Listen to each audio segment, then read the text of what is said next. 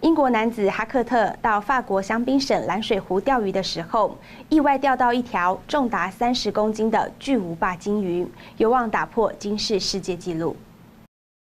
这只绰号“胡萝卜”的金鱼全身呈现鲜艳的橘色，哈克特花了近二十五分钟才钓起来，让他相当兴奋。在与胡萝卜合照后，哈克特便把胡萝卜放回湖里。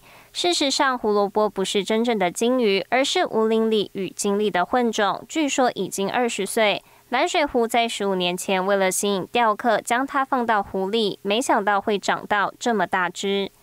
二零一九年，美国男子富盖特钓到一条十七公斤重的鲸鱼，创下惊世世界纪录。若胡萝卜被认定为鲸鱼，哈克特有望改写纪录。